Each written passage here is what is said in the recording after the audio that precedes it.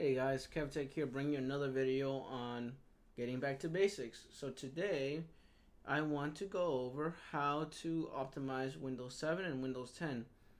This is important because you need to you need to know how to make your computer faster. So I want to go over um, what an SSD is for a computer and what an SSD is for a laptop and a regular hard drive. So we have three different types of hard drives. There's 3.5 hard drive, which is a big fat hard drive, and there's the 2.5 hard drive, which is for a laptop, which would be something like this. It's like tiny, which is a 2.5 hard drive, and this is a SSD. It's a it's a mechanical hard drive.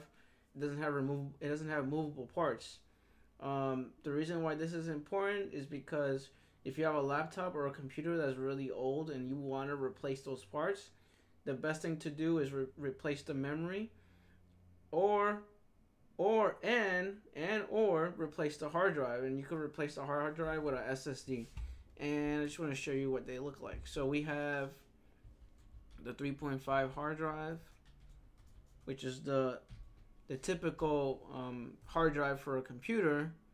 If you look at it you, you should know what it is. So there's like a hitachi uh, western digital sony hard drives what you name it. And then there's the 2.5 hard drive, which is uh, the small one, which is the one I just showed you just now. And then there's the SSD, and it's this one. This is the ones that come on, a, come in a laptop nowadays. Um, there's also these types of hard drives that, that also come on come into the laptop as well. And then if you have a laptop, usually you would you would unscrew it on the left hand side. There's a screw here holding down or shutter in place and then you just replace the hard drive. If you want a bigger hard drive or a bigger SSD, you would just grab this one, buy a new one, get the serial number, and then replace it. And then um, for people that have a desktop, I would recommend changing it to an SSD, which is these SSDs, and usually they, they typically last about, I say, two to five years, maybe more. Depends how you maintain it, and depends um, if you obviously update your computer and um, you always run the latest updates on your computer. You restart. You leave your computer on all day. Um, it also depends what you put on your computer. I, I can't really say. But but the, I have an SSD on my current computer right now that I'm that I'm actually recording this video on. I had an SSD before on my other computer. It lasted me for 10 years. So typically it depends on the person. So why am I going over this? Is because like I said, it's if you wanna if you wanna upgrade your computer you want to look at the hard drive, change change the hard drive to SSD, upgrade the memory, RAM, upgrade memory, and then thing is, uh, people confuse it. Memory, RAM, and S and hard drive are two different things. Hard drive is how uh, is just storage space.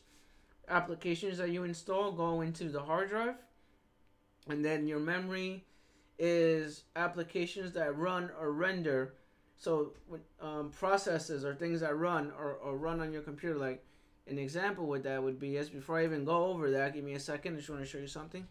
So I would I would if you if you don't know if you don't know how to how to like you know nothing about your computer and you want information about your computer and you want it for free and you don't want to like kill yourself or pay someone to tell you about your computer you go into you go into crucial.com if you have a windows 10 machine or 7 you hit hit the agree agree terms over here. You scan your computer, and once it finishes scanning your computer, it'll tell you what what memory you could upgrade it to, what's the max memory you could upgrade it to. But it also tells you if you could replace replace your hard drive with SSD and which one you could buy. It it gives you like Newegg and all these stores you could you could buy it from and stuff like that. So this is absolutely free. You could download it.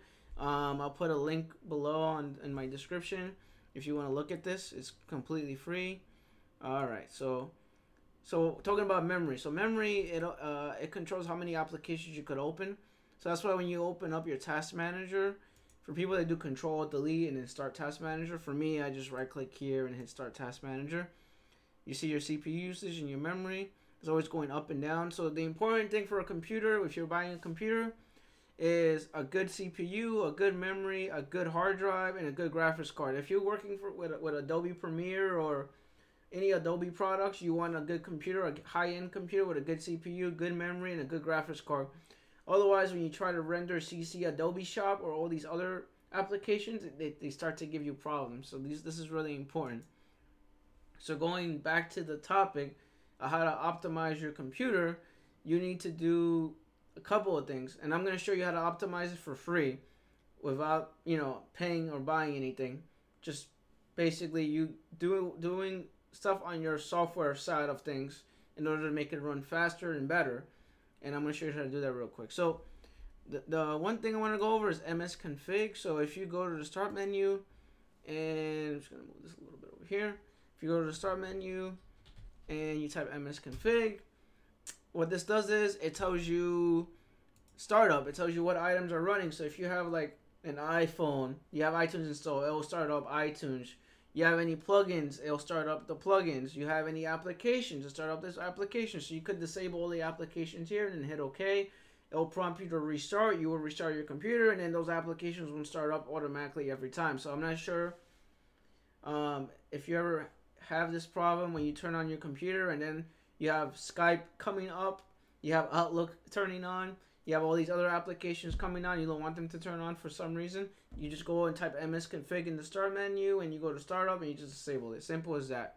That's the easiest way to fix to fix your computer to make it faster. Another way to fix your computer is is uh your desktop icons. If you have a lot of desktop icons on your computer, your computer will take forever to to go to the to the start menu, go to this main screen.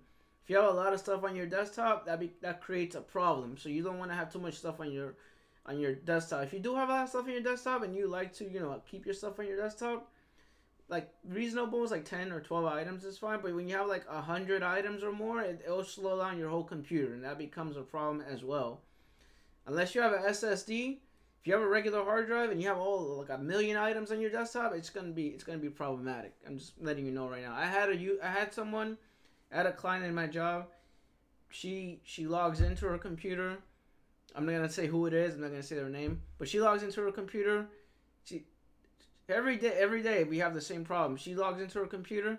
It takes forever for her to log into her computer, and we were trying to clear stuff from stuff up on Chrome, Internet Explorer, maybe some cookies and cache. We clear everything out, and it still was taking forever. Finally, I looked at her desktop. She had about five gigs of stuff on her desktop.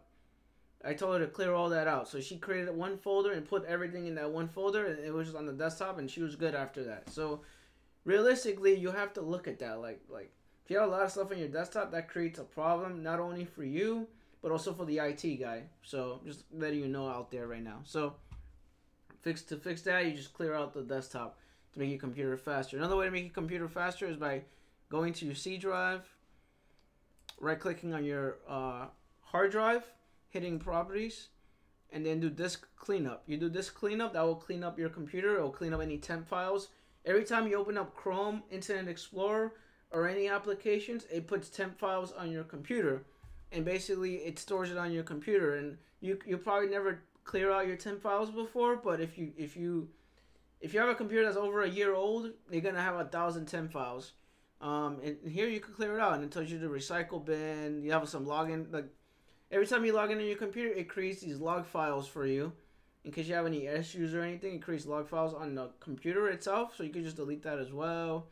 Temp temporary files as well. So a lot of people don't know that, but you have to clear this out because otherwise it slows down your computer as well. Um, I would do the fragmentation as well. If you have a regular hard drive, defrag your computer at least once a month. That will fix your computer as well and make it faster. So if your computer takes forever to turn on, takes more than like 40 seconds to turn on and or 30 seconds to turn on, you have a problem. You should defrag your computer. If it's a regular hard drive, defrag your computer. Um, so those are the temp files. That would be under your name. So C users. Obviously, if you're not into technology, you will know about this. App data. You hit local temp. So this is all the temporary files I have. You would just delete all that. Um, if you've been using a computer for over a year, you probably have a thousand items here, like maybe like 10 to 20 or 40 gigs of stuff you probably don't even know about. Have your IT guy delete it for you. Um, that's basically it. So another thing to make your computer faster is your um, basically you you put your computer to run at best performance. Uh, right now it's running at best performance. You want to make it and adjust it to run for best.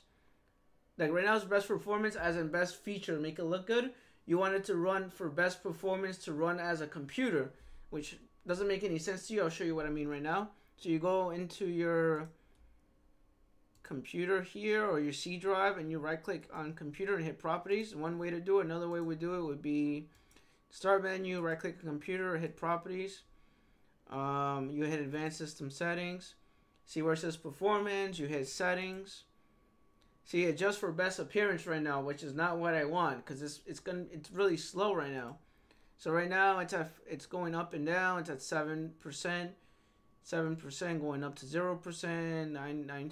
I added more memory to it just now, like earlier today, so it's running a lot better now. You have a computer that's extremely slow. Um, look at this. Go here. Adjust for best performance. It's gonna look a little a little a little strange. Hit OK. Voila. Now it's much better now. And like Kevin, I don't like the way this looks down here. No problem. We could we could fix that for you. You just go into smooth edges and then usual use visual styles of windows and icons. Hit OK. Everything else is uh, checked off. Yep. So it's like clearing out all the animation. It makes it a lot smoother after that. Hit OK. Hit OK. Close out of this. Now it's gonna be like two times faster after this. Trust me. Voila, magic right there. That fixes that problem. Uh, another thing, go into control panel. Go into performance information and tools. You run this thing, it will rate your computer one out of one out of seven point nine. It tells you what's bad on your computer, what's good on your computer. So hit that rate this computer button, and it will tell you what's wrong with your computer. If your memory is bad, is your processor bad, your graphics card is bad, you could do that here as well. You could adjust your visual effects, which is what I did. Hit the advanced settings.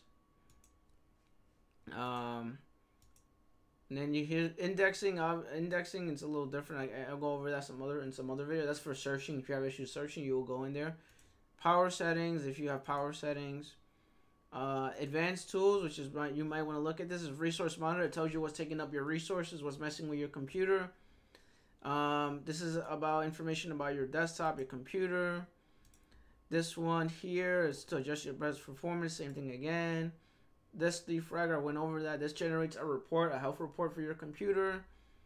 And uh, that's about it. That's everything you could do on Windows 7. You could do the same thing on Windows 10. And I'll show you how to do that right now. So, if you want to save money and you don't want to spend any money, do all this and it'll make your computer run a lot faster. You're thanking me for it later. Um, upgrade the memory, upgrade the RAM. If it's a 64-bit operating system, system type, you could do you could do 8 gigs or more. So, give me a second. This is my brother's messaging me.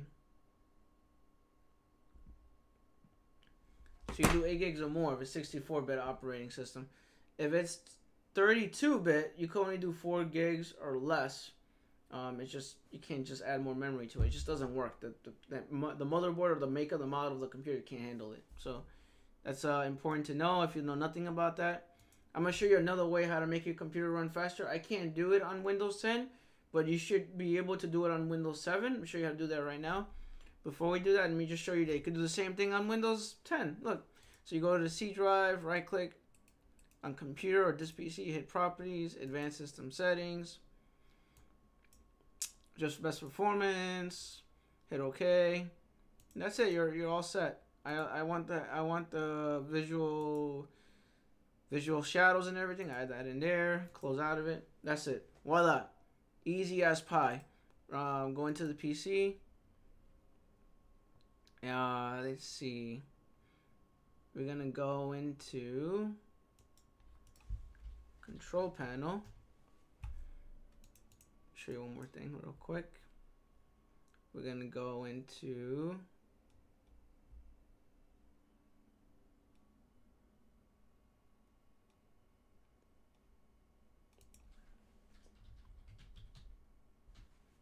performance, check processing speed. Doesn't give me a doesn't really give me a grade here, but it's fine. Yeah, so that's that's that's it. That's pretty much it. Um, what was the last thing? Oh yeah, MS config. So do MS config. Same thing. Instead, it's called startup. Instead, and it's gonna be called startup. See if I open up um, MS config on Windows 7, it's startup as well. So here's the same. It's pretty much the same thing. You just disable whatever you don't want and hit enable. Same thing. I'm just gonna shut that down. So if you don't if you don't wanna if if you have a flash drive, you could actually make your computer faster as well by, by using a flash drive. I know that sounds crazy. Um so there's this thing called Ready Boost. I'm not sure if you ever heard of that. So you do Ready Boost. Ready Boost.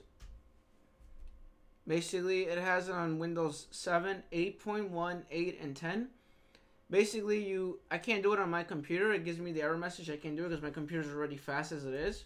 But if you have a windows 7 machine or a windows 10 machine you could definitely do it on a windows 7 or 10 machine. Uh, i'll show you how to do that right now. I plugged in my flash drive already. It's called kevtech i'm to inject it. And i'm just to i'm to put it back again. Just like just sort of pretend as if i'm doing it from the beginning and it should come back up and it's pretty cool so you right click on it, you hit properties, and then you have this tab called Ready Boost. You're like, what the hell is that? So basically, in Ready Boost, you click on it, it gives you the option to use your flash drive as memory as RAM. So basically, you could you could make your hard drive into like a processing power, or like a chip or memory to make it run faster on your computer. So that's that's that's another way to make a computer run faster if your computer is running extremely slow you plug in a flash drive, you could use it as memory. Uh, some people don't know don't know about that, but that's actually free, and you can do that if you have a flash drive. You can do it that way as well. So that's pretty much everything about optimizing Windows 7 or Windows 10. Um, that's about it for this video. I hope everyone's having a great day. I know it's a little advanced and it's a little bit somewhat descriptive. But hopefully you got got the gist of it. I hope everyone has a great day and a great night and a good evening. Rate, comment, subscribe as always, and um, enjoy the rest of your day. It's been really nice today. It's not that cold outside. Have a good one. Take care. Happy Friday. Happy uh, Tuesday, I guess.